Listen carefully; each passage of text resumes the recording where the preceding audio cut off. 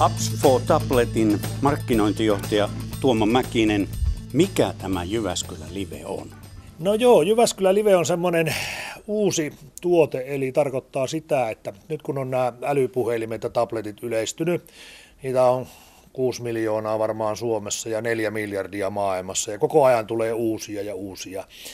Ja nämä lukulaitteet ja katselulaitteet on tullut jokaisen taskuun. Ennen oli pelkkä puhelin ja tietokone oli erikseen, mutta nyt on niin kaikki niin kuin samassa paikassa.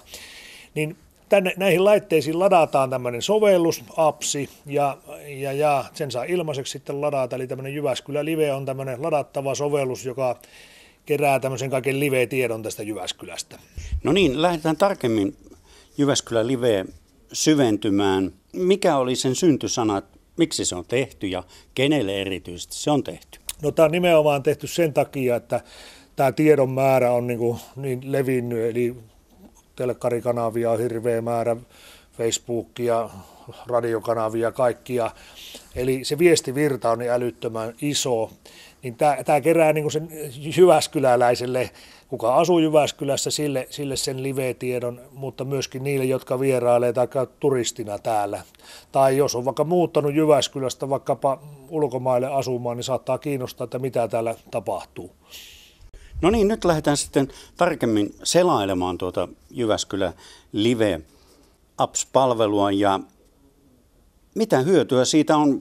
Näytäpäs meille ja kerro, mitä kaikkea sieltä löytyy. Joo, täällä on esimerkkinä niin ensimmäisenä ihan mitä tänä päivänä Jyväskylässä tapahtuu. Täällä on tämmöisen menoinfo. Sitten täältä löytyy muun muassa mitä, mitä musiikkia tänä päivänä on, jos haluaa mennä semmoisia kuuntelemaan.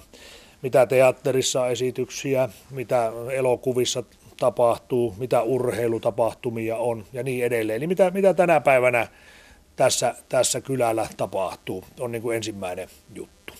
No otetaan ihan, mennään vähän konkreettisemmin. Sieltä varmaan löytyy kaupungin teatteri. Otapa ihan muutamia esimerk- asiakasesimerkkejä sitten.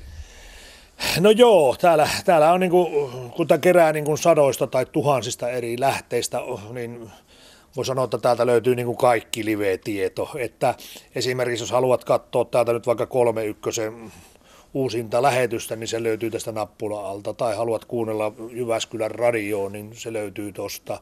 Tai lukea Suuri Jyväskylän lehteen, niin se löytyy kanssa. Että se on niin kuin kaikki, kaikki, mitä kylällä tapahtuu, niin samassa paikassa. No monelle laitteen omistajille on sitten tärkeä kysymys, miten se toimii ja laitelista, joten miten Jyväskylän live löytyy käyttäjälle? Joo, näissä, näissä älypuhelimissa, tableteissa on tämmöinen sovelluskauppa, josta, josta tämä käydään niin kuin lataamassa tänne laitteen näyttöön ja, ja, ja se on ilmainen niin kuin ladata ja käyttää aina ja toimii sitten joka puolella maailmaa, että se on, se on hyvin, hyvin yksinkertainen.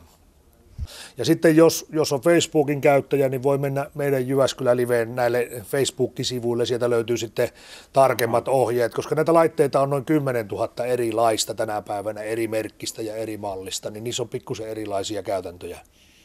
Öö, minkälaiseen hintaluokkaan tuo appsi sitten sijoittuu? No niin, no tämä on ilmainen käyttää, että mä en tiedä sitten, että voiko se se halvempi olla, mutta me ei vielä olla ajateltu, että me maksettaisiin tästä, että se saa laittaa sinne puhelin. Virukset maailmassa lisääntyy ja jos jonkinlaisia ongelmia tulee niiden myötä, miten tämän appsin toimivuus niiden kannalta on? Joo, no tässä on tämä, tämä tekniikka on sellainen, että tämä koko juttu on tuolla pilvissä, pilvipalvelussa. Ja tällä laitteella otetaan vaan niin kuin käyttöoikeus sinne, sinne pilveen. Eli sieltä ei voi tulla mitään viruksia tänne laitteeseen, eikä se myöskään syö tämän laitteen niin kuin muistia. Eli se ei täytä niin kuin sen koneen muistia. Että mutta, mutta siinä täytyy olla nettiyhteys, eli jos, jos ei ole verkkoyhteyttä, niin silloin tämä ei tietenkään päivitä sitä live-tietoa sinne. Markkinointijohtaja Tuomo Mäkinen, Jyväskylä Live on uusi, se on ilmainen appsi, mutta kerrotaanpa katsojalle Jyväskylän Liven mahdollisuudet.